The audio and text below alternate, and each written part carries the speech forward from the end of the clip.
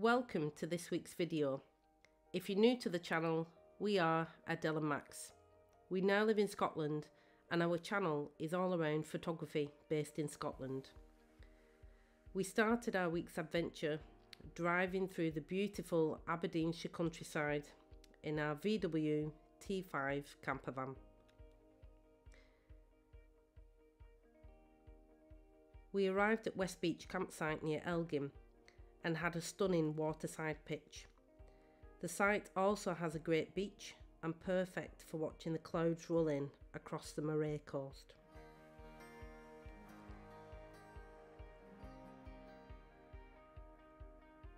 We enjoyed a couple of nights at this site, relaxed and just took a few images.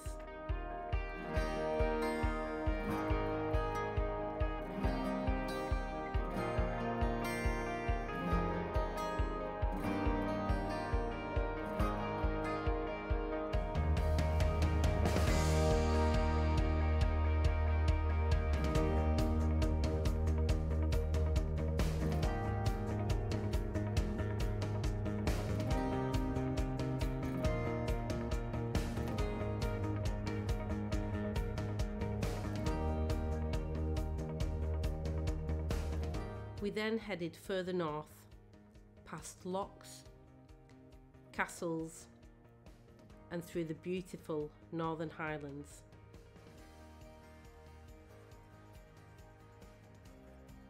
As always, a mixture of rain and blue skies within minutes.